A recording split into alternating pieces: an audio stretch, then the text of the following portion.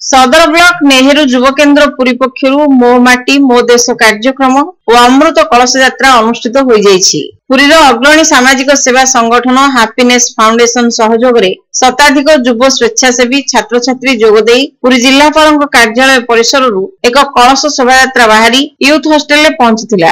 ସରକାରୀ ଶିଳ୍ପ ତାଲିମ ପ୍ରତିଷ୍ଠାନ ସମ୍ପର୍କ ପୁରୀ ସେବା ସମିତି ଆୟୁଷ ଆଥଲେଟିକ କ୍ଲବ ଓ ଜଙ୍ଗଲୀ କ୍ଲବ ଆଦି ଅନୁଷ୍ଠାନ ମାନେ ଏଥିରେ ଯୋଗ ଦେଇଥିଲେ। ମୁଖ୍ୟ ଅତିଥି ଭାବେ ପୁରୀର ବିଧାୟକ ଜୟନ୍ତ କୁମାର ଷଡଙ୍ଗୀ ଯୋଗଦେଇ ସେଠାରେ ଉପସ୍ଥିତ ଥିବା ସମସ୍ତ ଅଂଶଗ୍ରହଣକାରୀଙ୍କୁ ପଞ୍ଚପ୍ରାଣ ଶପଥ ପାଠ କରାଇଥିଲେ। ଆୟୋଜିତ ସଭାରେ ମୁଖ୍ୟ ଅତିଥି ରୂପେ ସଦର ବ୍ଲକ ଓ ବିଭିନ୍ନ ଗ୍ରାମରୁ ଆସିଥିବା ମାଟି କଳସକୁ ନେହେରୁ ଯୁବ କେନ୍ଦ୍ରର ଯୁବ ସଂଯୋଜକ ଜୟଶଙ୍କର ଯୋଶୀଙ୍କୁ ହସ୍ତାନ୍ତର କରାଯାଇଥିଲା। ସମ୍ମାନିତ ଅତିଥି ଭାବେ ବାୟୁସେନା ଅଧିକାରୀ ଲଳିତ କୁମାର ନାୟକ ସ୍ଥଳସେନା ଅଧିକାରୀ ସତ୍ୟ କୁମାର ବେହେରା ଓ ପୋଲିସ ଅଧିକାରୀ ପ୍ରଦୀପ କୁମାର ଦଳେଇ ଯୋଗ ଦେଇଥିଲେ। ଯୁବ ସମାଜସେବୀ ଭାବେ ହାପିନେସ୍ ଫାଉଣ୍ଡେସନର ପ୍ରତିଷ୍ଠାତା ତଥା ସଭାପତି ଇଞ୍ଜିନିୟର ପ୍ରଦୀପ୍ତ କୁମାର ପ୍ରଧାନଙ୍କୁ ମୁଖ୍ୟ ଅତିଥି ସମ୍ମାନିତ କରିଥିଲେ।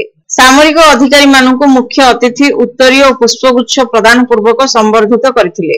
ନେହେରୁ ଯୁବ କେନ୍ଦ୍ରର ଜିଲ୍ଲା ଯୁବ ସଂଯୋଜକ ଜୟଶଙ୍କର ଯୋଶୀ ସ୍ୱାଗତ ଭାଷଣ ଦେଇଥିଲେ। ସମ୍ପର୍କର ସାଧାରଣ ସମ୍ପାଦକ ସୌମେନ୍ଦ୍ର ଦାସ କାର୍ଯ୍ୟକ୍ରମ ପରିଚାଳନା କରିଥିଲେ। ସହାୟକ ଅଧିକାରୀ ଅଶୋକ କୁମାର ବେହେରା ଧନ୍ୟବାଦ ଅର୍ପଣ କରିଥିଲେ। ଜାତୀୟ ଯୁବ ସ୍ୱେଚ୍ଛାସେବୀ କୃଷ୍ଣଚନ୍ଦ୍ର ସାହୁ ହାପିନେସ୍ ଫାଉଣ୍ଡେସନର କାର୍ଯ୍ୟକାରୀ ସମ୍ପାଦକ ସମୀରଞ୍ଜନ ସାହୁ ଓ ଯୁଗ୍ମ ସମ୍ପାଦକ ସିଦ୍ଧେଶ୍ୱର ମିଶ୍ର କାର୍ଯ୍ୟକ୍ରମ ପରିଚାଳନାରେ ସହଯୋଗ କରିଥିଲେ।